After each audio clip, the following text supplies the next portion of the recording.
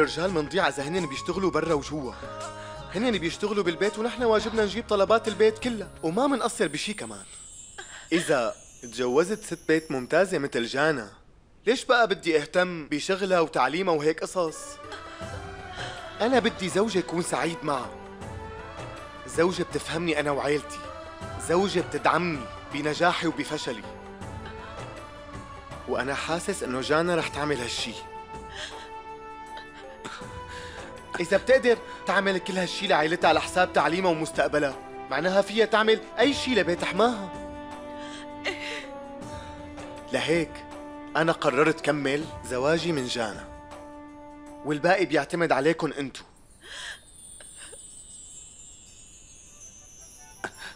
ماما. أهلين ابني سامحني. بعتقد إنه كان تقديري بحقكم غلط.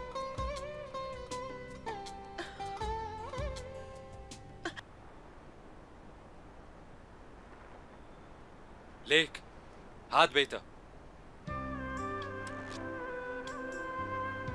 تارون أنا صلحت هاي السيارة. هاي سيارتها تعال خلينا نروح مبينة غنية. لك لا مو هيك. مبين في ضيوف جوا. أهلا من نمطك هنن كمان حالتهم على قدها. خلينا نروح ونشوف. يلا. شو رأيك؟ هالمرة رح يمشي الحال؟ يا ريت يمشي الحال. وقتها سوشنا رح تطمن على بنتها. الكل بيقلقوا على زواج بناتهم. إن شاء الله تعجب هالشاب ويوافق ويرتبطوا سوا. إن شاء الله.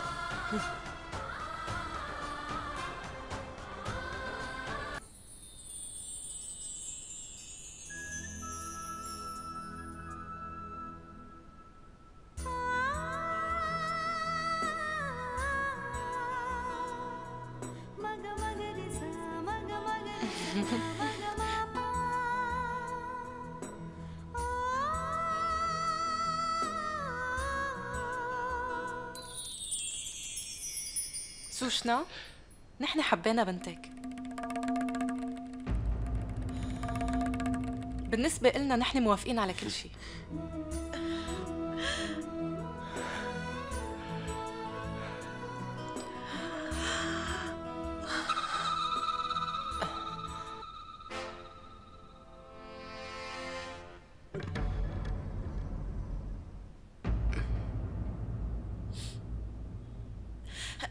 بقدم لكم كنتي مانوشا.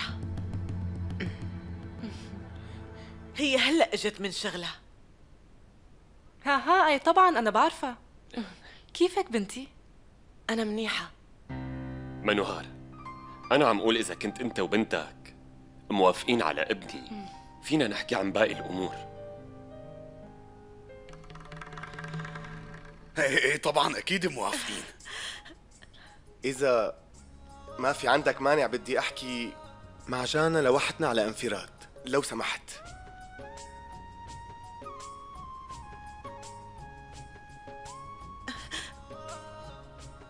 أكيد ليش لا؟ فينود خدهم على الغرفة لجوا. حاضر ماما. تعال ساتيش. تفضل معي لجوا. تفضل. يا سلام. من هون. عفوا لا تواخذني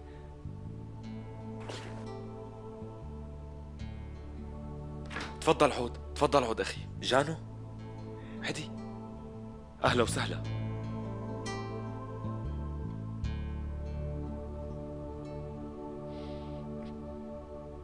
رح روح واترككم براحتكم. برجع بعدين. شكرا كثير.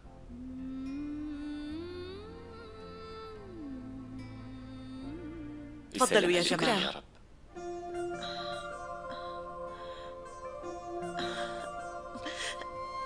عن اذنكم شوي. شو في أخبار حلوة؟ إيه الأخبار حلوة. إيه الحمد لله. تعي خبرينا. الناس اللي جوا جايين يطلبوا جانا. بتعرفوا مين الشاب؟ ساتيش. ابن بنت حماكي. إجوا لعنا يطلبوه. مالي مصدقه انهم اجوا الشاب من عائله غنية إجا ليطلبها. جانا كتير محظوظة. بتعرفوا؟ بدهم إيانا من هلأ نحدد موعد الزواج. الحمد لله الحمد لله. الحمد لله. إن شاء الله على خير. سوشنا شو صار؟ تحدد العرس؟ إيه عمتي. ببركاتك أنت رح يصير عندي سهر ما في منه. شاب متعلم وحلو. ومن عائلة منيحة كمان. عنده شغل منيح. إيه؟ بنتي جانا كتير محظوظة. وهلأ رح تطلع معه بالسيارة بعد شوي.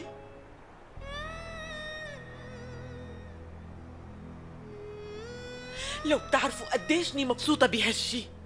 هو شاب كتير متعلم وحلو وبياخد العقل. والله أنا كتير كتير فرحانة لبنتي جانا. يلا يلا بخاطركم بشوفكن بعدين إيه؟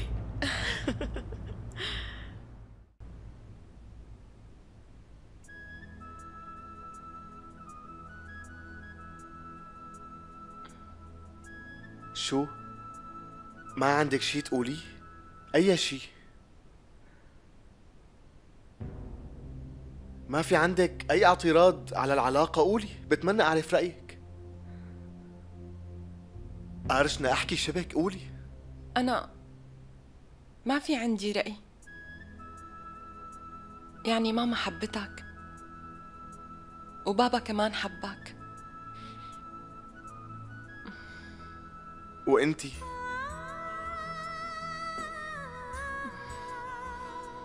أنتي ما ما حبيتيني؟ أنا ما ماشي ماشي استرخي. ما بدي إياكي تتلبكي. أنا بصراحة أنا عرفت شو قصدك. يعني ما في عندك مانع ما؟ وإنك موافقة. يلا رح أطلع. وخبر الكل إنه موافقين على الارتباط شو رأيك؟ أمم؟ دقيقة شوي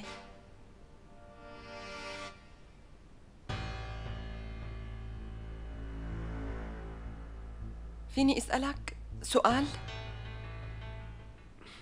أنت ما عندك مانع إنك تتجوز بنت ما درست غير للصف الثامن؟ سؤال حلو بس قبل ما جاوبك أنا بدي أسألك سؤال افترضي نحن متجوزين وفي بيننا خناقة كبيرة لشي سبب شو ما كان وأنا عصبت منك وكان غصبا عني شو رح تعملي؟ ما رح يكون في مجال بيناتنا للخناق. أكيد ما رح خلي الموضوع يوصل لهالحد. وفي حال كبر الموضوع أكتر رح ضل ساكتة. ماما بتقول إنه إذا الطرفين ردوا على بعض تكبر المشكلة. بس إذا كانت من طرف واحد تنتهي لحالها وبسرعة. وإذا حدا من الطرفين تنازل لحتى ما تكبر المشكلة. هالشي ما بيقلل من قيمته أبدا. صح. لهيك أنا معجب فيكي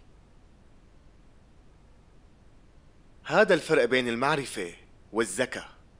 بعرف إنك مو كتير متعلمة بس تعرفي منيح كيف تحافظي على العلاقات والعيلة وتنهي كل المشاكل. جانا الواحد ما بيتعلم. هيك دروس وهيك قيم بالمدرسة أو بالجامعة. هدول بتاخديهم من البيت من قيم أمك. من قيم أمك اللي تعلمتيهم منا برأيي هذا أهم من كل شهادات الجامعات. نطلع؟ استني.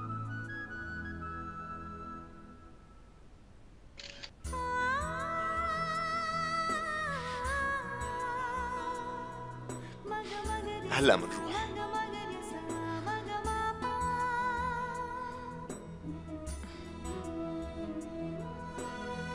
لمشاهدة المزيد من الحلقات يمكنكم الاشتراك في قناتنا وتفعيل الإشعارات لتكونوا أول من يشاهدها.